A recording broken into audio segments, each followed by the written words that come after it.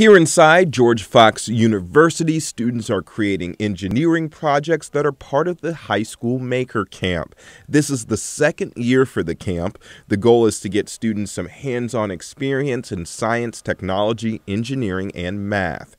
During camp, the students build connections, work as a team, and problem solve.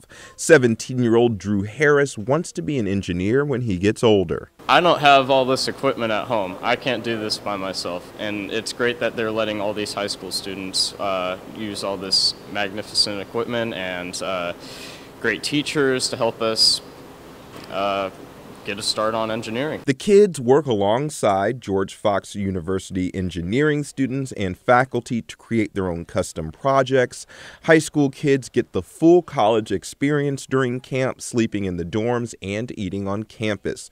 Associate Professor Todd Curtis says the goal is to expose students to STEM careers early. Where students come in and it's just a crash course in learning about what engineering is by doing it. So they're making things, they're taking stuff home with them at the end of their time. There are three different sessions throughout summer. Each week starts with a hands on introduction to all the equipment and engineering concepts. 16 year old Joyce Chang is at camp for the first time. She doesn't think she wants to be an engineer, but she's happy she got the experience. It was mainly my dad that pushed me into this experience, but it really helped me figure out that this was a really interesting kind of job in the future, but it's not really something I'm interested in.